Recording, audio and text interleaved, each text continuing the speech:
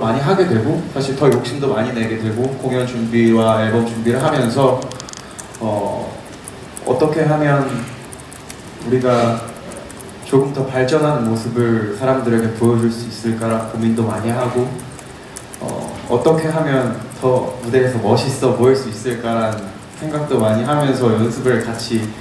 되게 정말 많이 했던 것 같아요. 얘기도 정말 많이 나누고